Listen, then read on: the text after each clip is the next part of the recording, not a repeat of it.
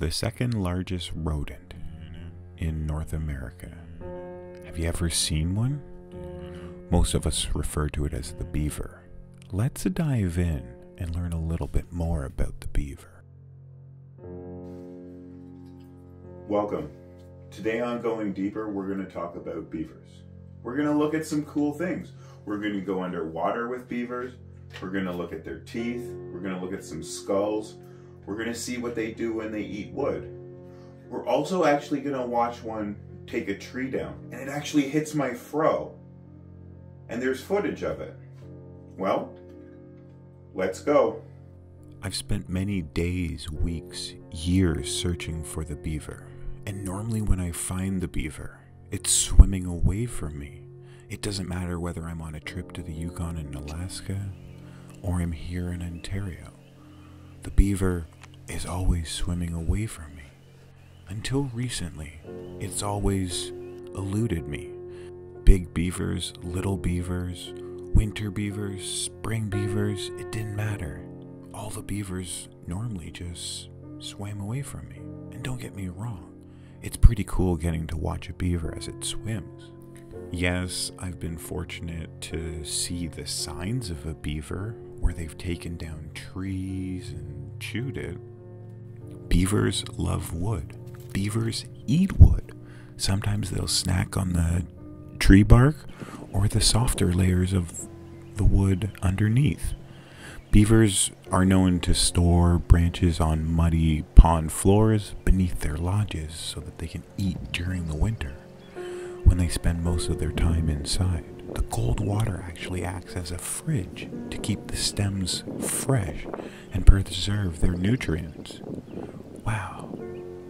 Beavers are pretty smart to figure all that out. These herbivores also eat leaves, woody stems, and aquatic plants. Some of their favorite foods poplar, aspen, willow, birch, and maple, which are also conveniently their primary building source. Beavers are very dexterous and tend to hold their food between their front paws to eat. Here in Canada, the beaver is actually quite iconic.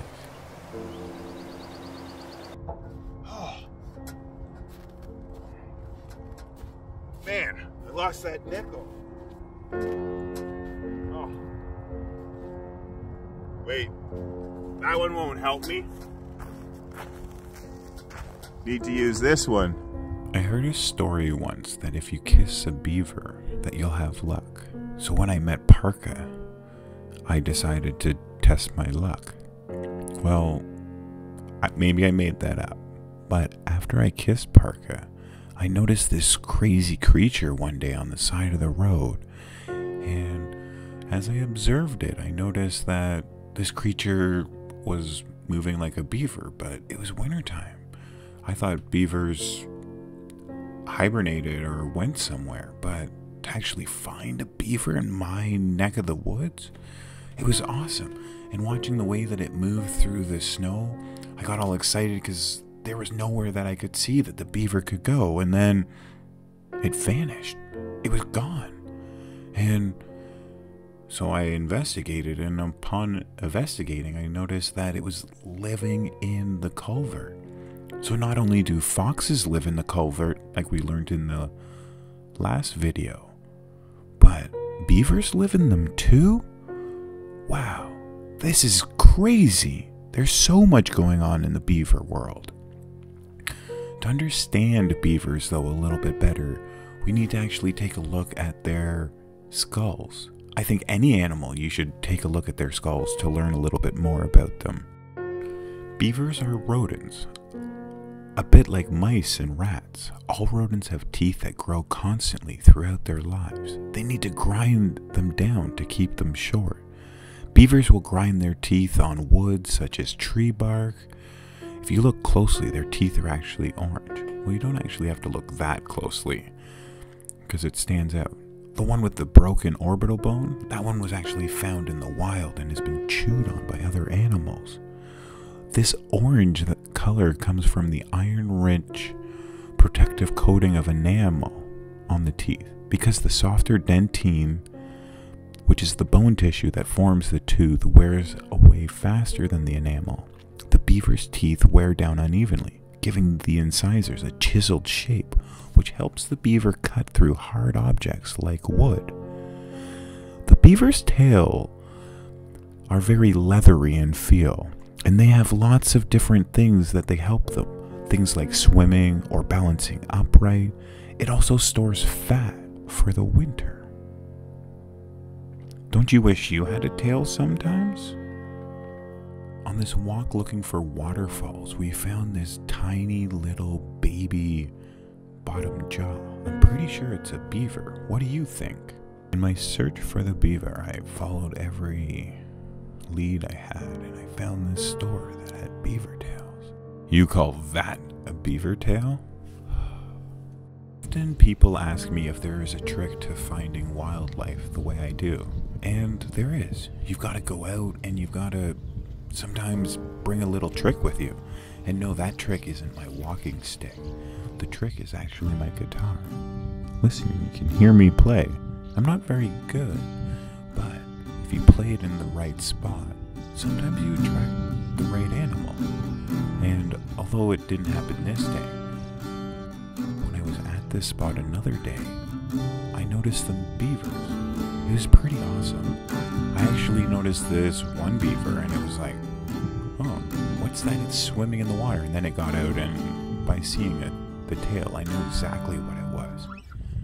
And then a little while later, another one came, and another one came, we ended up seeing four beavers. It was a pretty cool experience. Although these beavers don't really travel in style, there was one time in Idaho, USA in 1948 where the beavers were annoying the locals and they actually were trying to relocate the beavers and it was proving them difficult.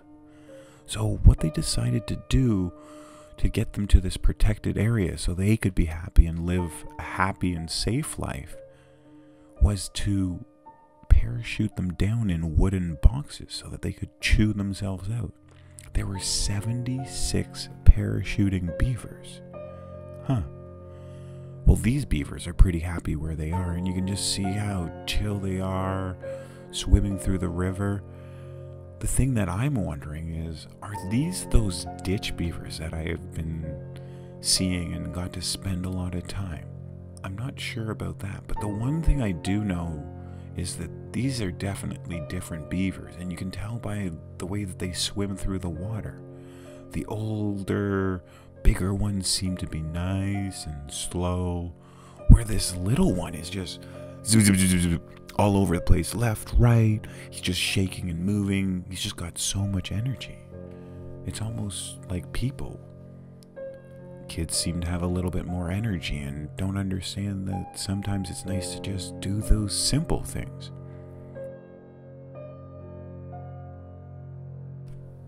The North American beaver is the second largest rodent next to the capybara, which is the largest. There are two species of beavers the North American beaver and the Eurasian beaver. The North American beaver typically weighs between 35 and 65 pounds, are 3 to 4 feet long, standing 1 to one and a half feet tall. The Eurasian beaver is slightly smaller than the North American cousin. Beavers actually existed in the Ice Age, they say. But those beavers, they were huge. They were giant beavers. They grew to be two and a half meters long. I'm not sure if you've been paying attention, but notice how this beaver's swim stroke, or at least the wake from this beaver, is a little bit noisier than that big beaver. I'm assuming this is a small young beaver, and this beaver is actually just trying to show off to mom, being like, hey mom, like look how awesome I am, and I can do this and that, and well, I'm just gonna grab this piece of wood because that's what beavers do, and I can swim and bring wood, mom, just like you and dad. And maybe I'm wrong. Maybe this is just a big beaver and I'm not noticing. But to me, it seems like this is a much younger beaver trying to show off and impress the bigger beavers. Can you at least notice the swim pattern being different and or at least the wake being different than the other? See how much it's moving and shaking the water? Watch this next beaver that swims up after this small beaver goes. It's almost as if mom went first, and then a little beaver went, and then a big beaver went. Look at how casual and slow, almost methodical this beaver is. Well, beavers don't just swim, sometimes they're sneaky and they like to just hide and hang out in the edges because they don't actually want to be seen by their predator. Yeah, they're pretty smart. Beavers' large lungs allow beavers to stay submerged for extended periods of time. Imagine being able to hold your breath for up to 15 minutes. Most beavers can stay underwater for 6 to 8 minutes, which is quite lucky as they do spend most of their time in the water. Most humans can only hold their breath for 30 seconds. How long can you hold your breath for? I can't hold it for that long. Though their movement may be awkward on land, their webbed hind feet and rubber like tails help them move swiftly through the water. They can swim up to 10 kilometers per hour. That's pretty fast. How fast do you think you can swim? What about how fast do you think you can run? Well, beavers spend most of their time building dams with branches and small tree trunks. Dams slow down the flow of water in the river and it helps to create a pond. A pond is a deep, quiet space away from predators. Right? We don't think about it. But if you're in the middle of that pond, those predators can't get you. And once they've made that dam, they live in that quiet water behind it. Dams come in all different sizes. Beavers are one of the few animals that actually change the ecosystem. They do this by blocking rivers and streams with their trees, mud, even rocks, creating new lakes, ponds, floodplains.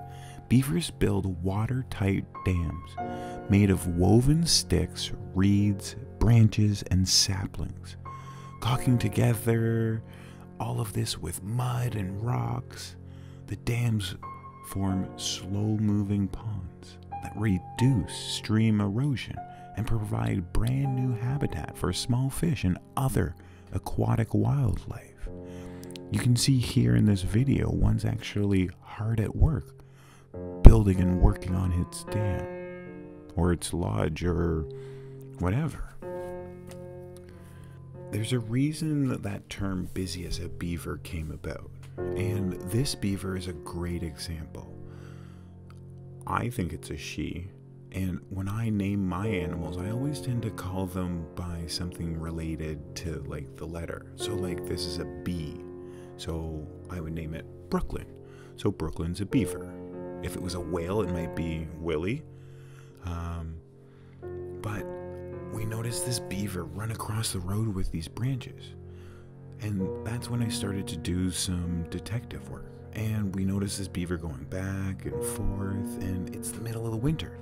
So, what a beaver does is it actually finds the tree that it wants and it picks the right tree. And then it starts to figure out well, if I cut it this way and nip at it that way, then I can get it to fall over this way. Beavers are great carpenters, and they can definitely cut a tree down quicker than I can with those sharp incisors. Man, let's watch this beaver take down this tree. A beaver's activity is not synchronized with the typical solar day, like most animals. That's because light levels in a beaver's lodge and underwater remain constantly low throughout a 24 hour day. Think about those days when you stay in bed all day. You don't really want to get out. Well, without cues from the sun, the beaver's natural rhythm or the regular day cycle changes, and its days become longer, often varying in length from 26 to 29 hours, the researchers say. And beavers are primarily beavers are primarily nocturnal, and they tend to be most active at night. But this beaver's working pretty hard, and wait a second. it's almost got all the way through this tree. Well, the crazy part about this tree is, as it's about to fall, the beaver looks at me, or at least measures it up, and I'm pretty sure that the beaver tried to hit me with the tree. And I'm not gonna lie, the beaver actually hit my hair as it fell down. I had to run away. Have you ever been that close to a tree falling that it actually hit you? Guy that was standing beside me in my way, I ran to the left or the right. I didn't run the entire length of the tree. Oh. But it was actually also being from a GoPro. Almost hit me, And the beaver doesn't seem to care. It just goes in, finishes its cut, and then it starts to actually trim down the tree and take the branches. Look closely, you can see the tree falling and me running. Man, that was a crazy day. Don't worry, the tree wasn't actually big enough or tall enough that I think it would have hit me, or I probably would have moved sooner to a safer spot. I do chalk it up to a life experience, or should I say a cool life experience. But as I was saying, the beaver doesn't try to take the whole tree. It just takes down small branches and it slowly works away and yeah, the beaver just drags it along. Again, busy as a beaver. That's a saying for a reason. Look at how hard this beaver is working just to get that tree into its lodge. Well, actually, it's probably a dam at this point, or I don't know. It's hard to tell where it's actually going. So we watch it as it crawls across the snow. It doesn't seem to be that graceful and it kind of gets stuck here and there, but it's got a purpose and it's going to get where it needs to go. Hard work pays off, and the beaver gets to the water where it's a little bit more graceful and it can use its powerful flippers and tail to help it a little bit more. Well, I came back to this spot in the springtime and I got to watch this amazing thing happen. I noticed some movement in the water and I was like, wait a second, that's a beaver. And the beaver started moving around and then I noticed it come out of the out of the water and it did something. And I couldn't really tell what it was doing from the angle I was, so I just sort of sat back and I watched and it was amazing. This beaver started swimming towards me and then it vanished. And I was like, oh, well, I guess I now have to count six, seven, eight minutes. But I started to notice these mud clouds forming underwater. And then the beaver reappeared, and I was like, what's going on? And so I sat there, and this is when I noticed that the beaver was actually building its dam. Are you kidding me? I'm actually watching a beaver build its dam and it's bringing the mud and oh, and it pushes it and it packs it down and then it does it again. And it just repeats this process over and over and over again. It's amazing. It's said that if a beaver can hear the water running over its dam, that it will spend time trying to fix it. It's almost as if it drives that beaver crazy hearing that water once that dam is built. So the beaver is hard at work and it's probably getting it ready for protection from the wolves or any other animals or predators that might be in the area. And this dam is pretty big and it's going to create an awesome floodplain. I know that not everybody's going to like the floodplain, but the beaver's doing what it does and it's amazing to watch. I feel that it's got to be really hard work for a beaver to pick up the mud and then swim with it. I remember when I was a kid trying to swim to the bottom of the water and pick up those rings. As I got a couple of them, it became harder and harder. Imagine having short little stumpy arms like the beaver. And just when you figure out, or think you figure out what the beaver's gonna do, and he's gonna put it up, he's like, nope, I'm gonna go this way. Well, he actually vanished shortly after this. One of the oddest beaver encounters I ever had was with this beaver and the goose. The goose was on the lodge and the beaver didn't like it and the goose didn't like the beaver. I didn't know that beavers and goose. I think they were fighting over this lodge that the beaver built. These lodges are dome like and constructed away from the shore, normally forming islands that can only be entered from underwater. The lodge has multiple entrances, and the living quarter is located above the waterline. The walls are typically insulated with small air holes at the top for ventilation. Hey Bones, it's time for another one. You ready? Going deeper. This time, we're doing beavers. This is a card game that I created with some of my favorite photos of Canadian wildlife. But back to the real animals. So you can see that this beaver picked the branch that it wanted and then it got stuck and was like, well, I'm just gonna move on. Or maybe it's because beavers have bad eyesight. I've noticed from watching them that they sort of just reach around and they're not really good at seeing things. They sort of guess at where they're going. Well, it's found a new branch, and I don't know why it picks this one over the other one, but it's awesome to see how quickly that branch can come down, and you can maybe understand how quickly a beaver can take down a forest. Don't worry, I went back this spring. Well, not this spring, in the fall time, and this area you could barely tell that there had been any beavers. It was pretty cool to see how Mother Nature has actually rebounded from this beaver experience. Back to the beaver's eyesight. Beavers actually don't have one eyelid or two eyelids, they actually have three. And that third eyelid is a transparent one, which means that they can see through it. This means that when they're swimming underwater, they can look through their third transparent eyelid and still be able to see a little bit. They're sort of like built in goggles. That would be pretty cool to be able to see underwater. I know some people are able to open their eyes underwater. I'm not one of those people. Kind of creeps me out. I'd rather just wear a mask. How about you? Do you open your eyes underwater? I would if I had transparent lenses.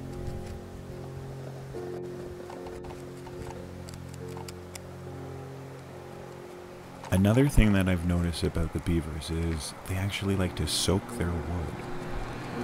Yeah. So they'll cut the tree down and they just put the branches in the water and then they just leave them there.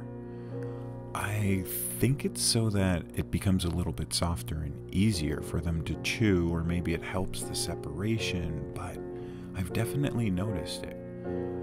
They will cut brand new branches and then they bring them down and then they move over to the next thing.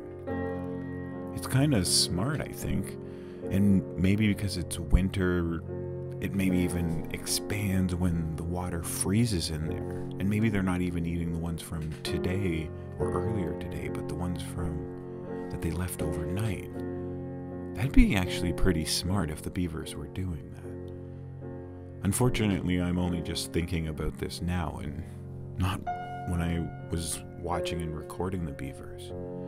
What's crazy to me is while I was watching these beavers, I was literally standing in a ditch and hundreds of cars drove past me. Most of them just sort of looked at me. And I bet you they were just like, why is this guy looking and taking pictures of water?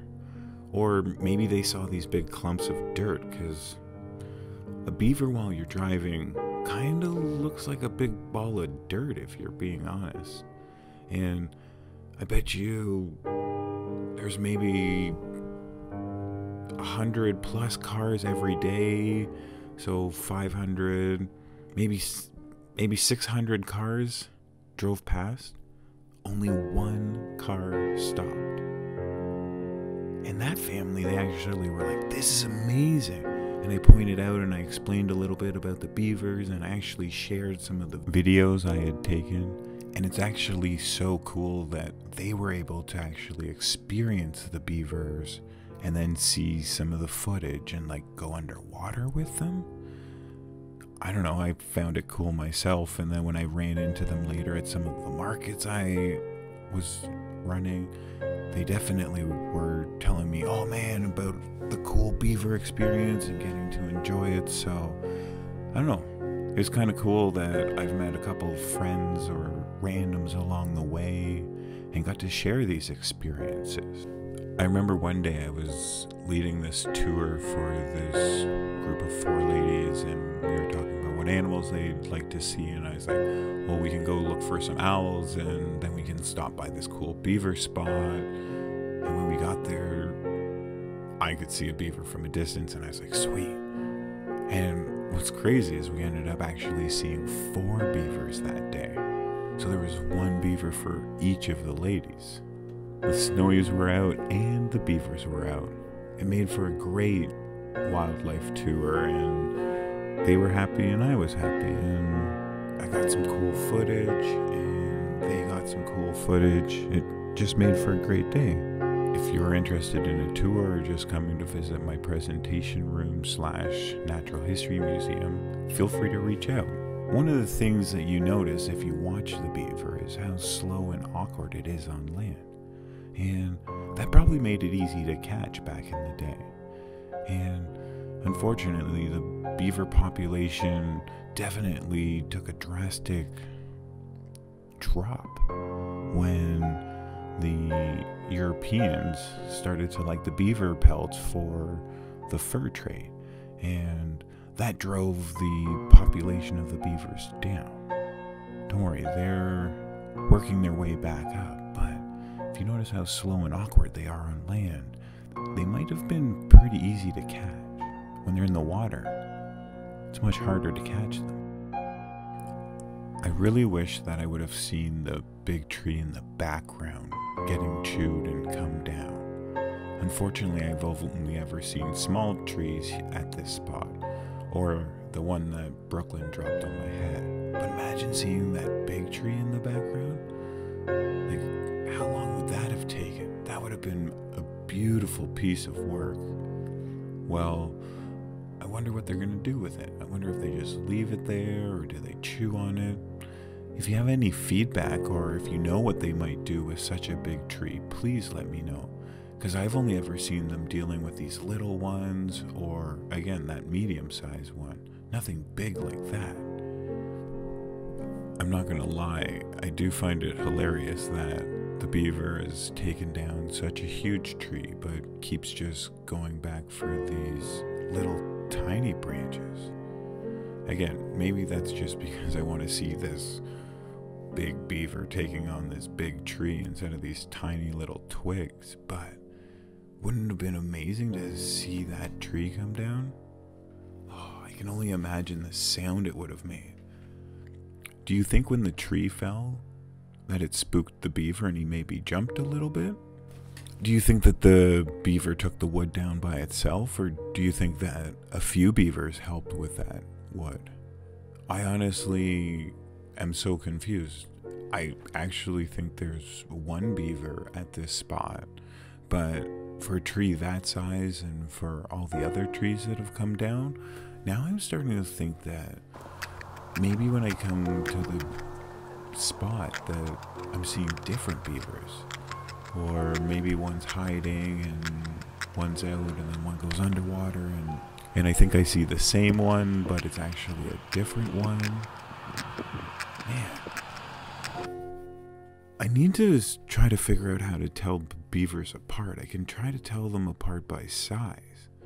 I wonder if there are any other markings that maybe I could use to try to help me tell them apart. I know that I can't see their faces so well all the time unless the light is on them. So, wait a second. This one's tail is slightly different. It's got a mark on it. And now that I think back to earlier parts of the video, some of them have a darker tail and some of them have a lighter tail. Maybe I can start to identify the beavers by the markings on their tail.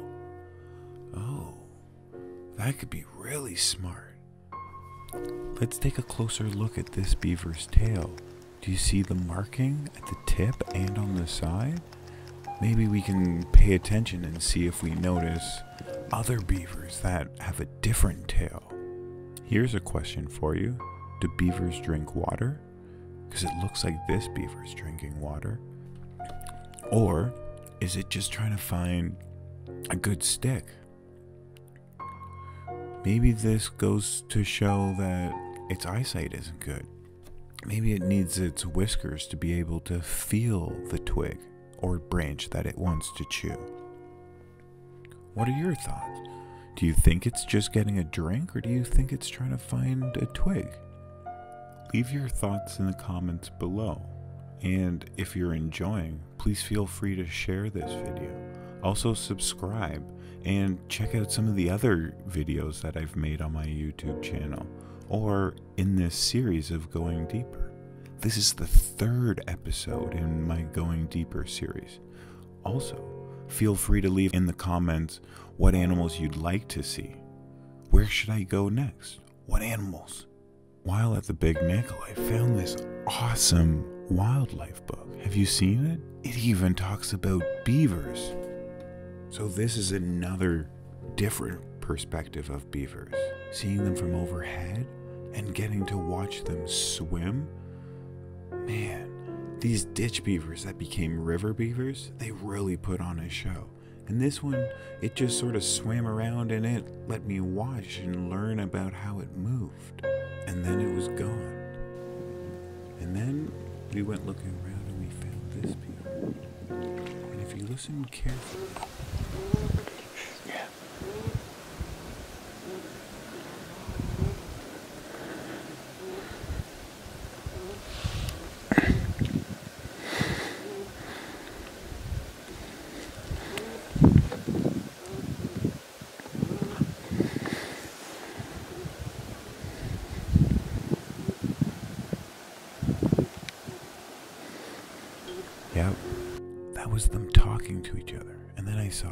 distance. And then I saw burrs on the beavers. What is going on? I'm learning so much. And then I found the beaver again, and it was deciding whether it was going to crawl on top of the ice. And, well, it's much easier for a beaver to swim, so it went under. And then I noticed these little light things floating behind it. And they looked like the stuff that was on the ice. And then I was like, wait a second. That's beaver poo. Yep. So I guess beaver poo floats. It's probably based on all the wood that it eats, why it floats. I wonder how different the wood tastes to the beavers. Like the aspen, the willow, the birch, the maple. Like, did they put things on them to make them taste better? Like some people put hot sauce on it. That's why I created my own hot sauce.